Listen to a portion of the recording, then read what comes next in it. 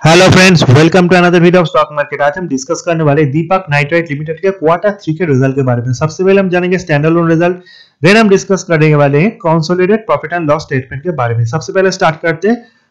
Standard result total income 699 crore last quarter में 551 करोड़ थे last year same quarter में 490 करोड़ थे. Total expenses 549 crore last quarter में 421 करोड़ थे लास्ट ईयर सेम क्वार्टर में 359 करोड़ थे.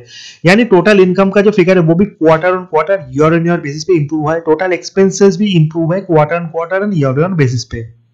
नाउ प्रॉफिट बिफोर टैक्स का अगर हम नंबर देखें 149 करोड़ लास्ट क्वार्टर में 129 करोड़ थे लास्ट ईयर सेम क्वार्टर में 131 करोड़ थे. इन दिस पर्टिकुलर क्वार्टर जो प्रॉफिट बिफोर टैक्स है, वो अच्छा खासा इंप्रूव हुआ है।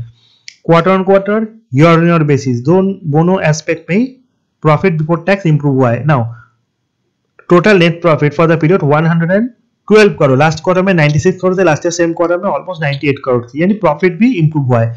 अगर हम side by side standard profit and loss statement को देखें so in that case as you can see total income 1748 crore last quarter में 1689 करोड़ थे. लास्ट ईयर सेम क्वार्टर में 1239 करोड़ थे.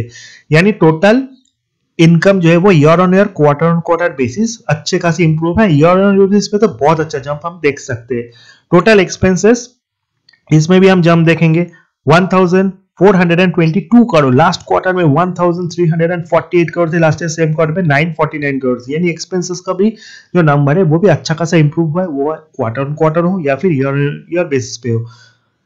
टोटल एक्सपेंसेस के बाद जो फिगर है, वो है profit before tax profit before tax का अगर हम नंबर देखें, वो है three hundred and twenty five crore. Last quarter में three hundred and forty one crore थे। लास्ट ईयर सेम क्वार्टर में 290 करोड़ थे in that particular case result उतने अच्छे नहीं, क्योंकि प्रॉफिट बिफोर टैक्स का जो नंबर है, वो थोड़े खराब रहे comparing to previous quarter now जैसे नेट प्रॉफिट है नेट प्रॉफिट का भी नंबर है 242 crore versus 254 crore last year same quarter में 216 करोड़ थे। सो नेट प्रॉफिट भी ईयर ऑन ईयर बेसिस पे इंप्रूव है क्वार्टर ऑन क्वार्टर बेसिस पे खराब है। So standalone and consolidated profit and loss जो है, वो दो तरफ़ के एक तरफ़ स्टैंडअलोन रिज़ल्ट जिसमें हम इंप्रूवमेंट देख सकते हैं वही कॉन्सोलिडेट प्रॉफिट एंड लॉस में हम डिक्लाइन देख सकते हैं। सो रिज़ल्ट वही अच्छे जहाँ पे standalone and consolidate profit दोनों ही अच्छे सो यहाँ पे मिले जुले से रिज़ल्ट है।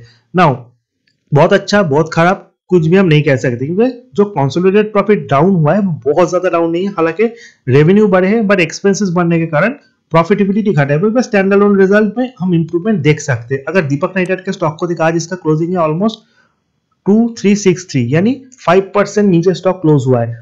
एंड रिसेंटली स्टॉक में अच्छा खासा हाई भी मारा था। ये स्टॉक था जो अगर 52 एक्स लो देंगे 941 52 एक्स आई 3020 एक टाइम तक 17 1800 के करीब स्टॉक ने अच्छा खासा ब्रेकआउट दिया था। वहाँ से सीधे 3000 का मूव किया था। वहाँ से फिर से स्टॉक नीचे आया। फिर से स्टॉक में हमने बाइंग देखा फिर से correction so ups and downs लगा रहा है। जिस तरह का रिज़ल्ट है, अगर मार्केट और गिरता है so 2000 is a very big support for this particular stock उस रेंज पे अगर है आपको स्टॉक को बाय करना है स्पेशलिटी केमिकल के जितने स्टॉक है, सबसे कम एक्सपेंसिव यही है। 30 का पी एक टाइम से ये 24 25 के पी पे चलता था। सो डेफिनेटली रिज़ल्ट के बाद अगर इसी प्राइस पे स्टॉक रहा तो प्राइस तो थोड़ा बढ़ सकता है, क्योंकि रिज़ल्ट उतने बेहतर नहीं है जितने होने चाहिए थे। ना अगर मार्केट करेक्शन के साथ या और गिरता है मार्केट भी गिरता है so definitely there will be buying opportunity near 2000 इस स्टॉक को आपको थोड़ा बाई करना है, क्योंकि स्पेशलिटी केमिकल में after SRF this stock is one of my favourite and दो क्वार्टर के रिज़ल्ट खराब है बट ऐसा नहीं कि हमेशा ही रिज़ल्ट खराब होंगे। डेफिनेटली नीचे भी जा सकता है, क्योंकि बहुत अच्छा रिटर्न भी दिया है बट अगर आप ऊपर से देखोगे तो करेक्शन भी स्टॉक में अच्छा खासा है। प्राइस टू अर्निंग रेशियो उतना एक्सपेंसिव नहीं है।